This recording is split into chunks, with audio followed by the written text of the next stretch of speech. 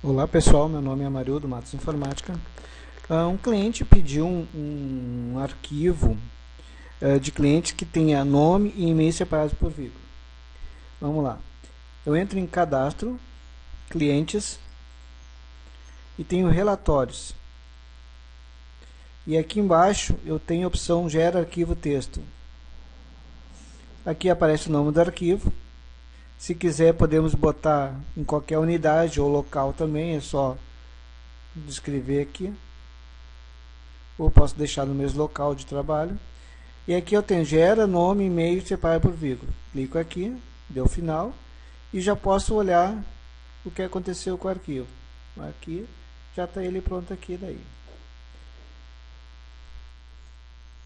Isso aí pessoal, até mais.